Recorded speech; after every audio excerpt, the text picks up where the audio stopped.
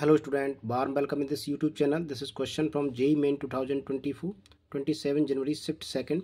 If alpha and beta are the root of the equation x square minus x minus 1 equal to 0 and sn equal to 2023 alpha to the power n plus 2024 beta to the power n then.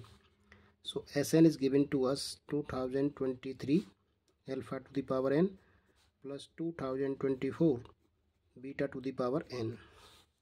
So here we got that S2 equal to 2023 alpha to the power 2 2024 beta to the power 2 now put n equal to 1 sn s1 equal to 2023 alpha and 2024 beta. Now adding this first and second s2 plus s1 equal to 2023 and alpha is common in this.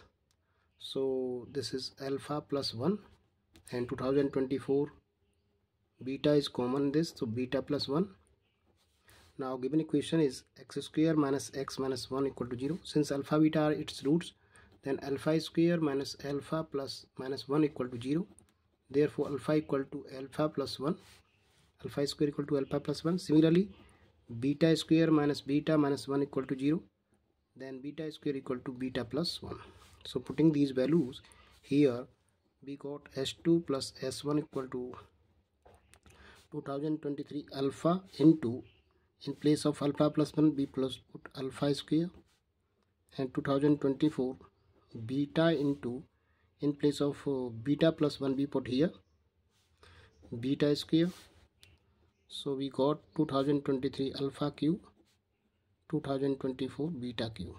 And this is what? This is s3 so s2 plus s1 equal to s3 we got this condition.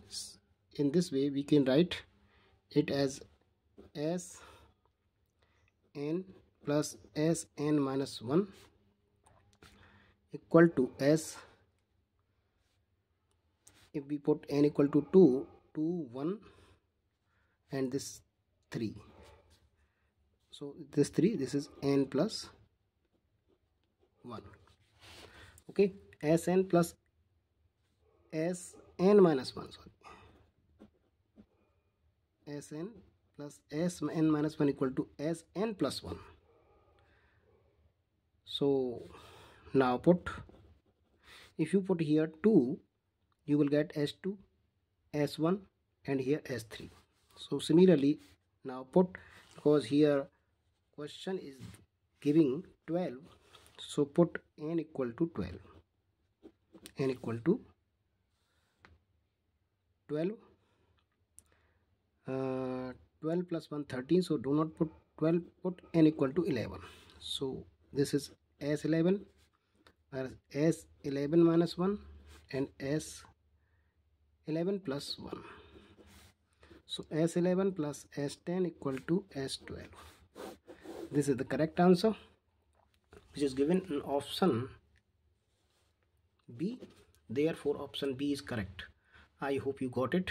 Please like the video subscribe the channel. Thanks for